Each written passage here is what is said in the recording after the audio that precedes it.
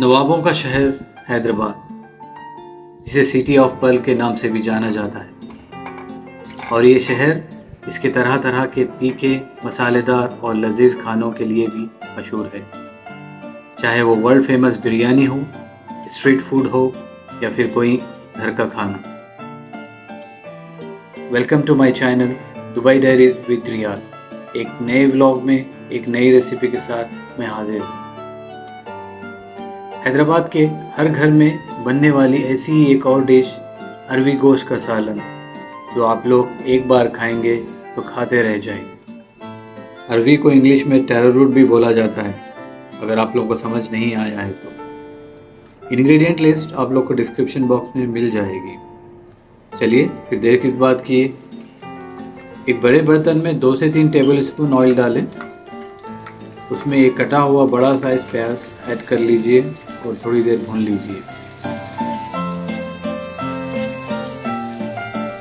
आधा टीस्पून नमक डालें, जिससे प्याज जल्दी पक जाएगी जैसे ही प्याज का कलर चेंज हो, उसमें अभी दो हरी मिर्च, दो टीस्पून जिंजर गार्लिक पेस्ट डाल के थोड़ी देर भून लीजिए, जब तक उससे कच्ची स्मेल ख़त्म ना हो जाए।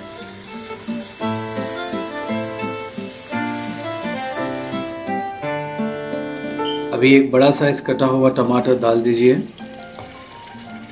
और भुनिए। टमाटर को थोड़ा नरम होने तक पकाएँ। टमाटर गल गया है। अभी गोश्त के पीसेस को डाल के थोड़ी देर पकाएँगे।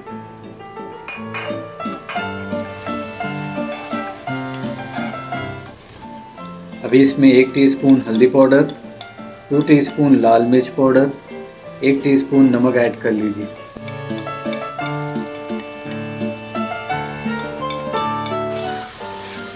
अभी सभी मसालों को अच्छे से भूनते रहें, जब तक इससे ऑयल अलग ना हो जाए।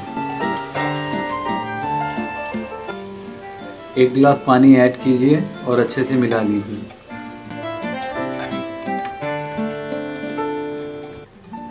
इसमें एक हरी मिर्च के साथ बारीक कटा हुआ धनिया पत्ता डाल के मिलाते रहें।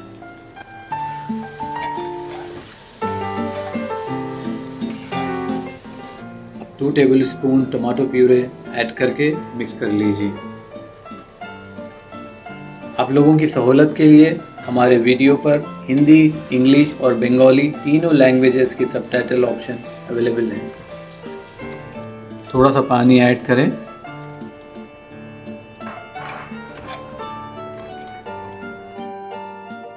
और कुकर का कवर लगाकर गोश्त को पकने दें। अगर आप लोग हमारे चैनल पर नए हैं तो चैनल को सब्सक्राइब करें, लाइक, शेयर और कमेंट भी करें। गोश्त पक गया है। अभी इसमें अरवी डाल देंगे। अरवी को क्लीन करके पहले से नमक और हल्दी लगा के रखें। इमली जो भिगो के रखे थे, उसको छान के पानी डाल दीजिए और मिक्स कर लीजिए।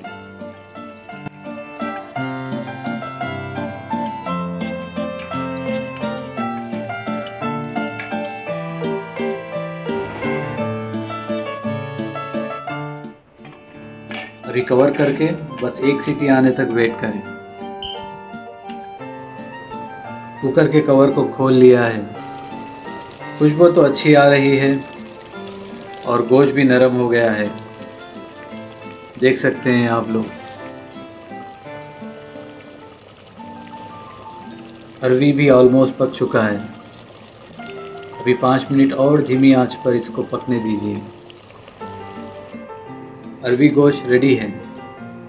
इसे आप लोग गरम राइस या चपाती के साथ सर्व कर सकते हैं। उम्मीद है आप लोगों को ये रेसिपी पसंद आया होगा। अगर आप सबको अच्छा लगा है तो हमें कमेंट करके ज़रूर बताएँ। फिर मिलते हैं एक नए ब्लॉग में, एक नई रेसिपी के साथ। जब तक अपना ख्याल रखें और दुआओं में याद रखें। अल्लाह हाफिज़।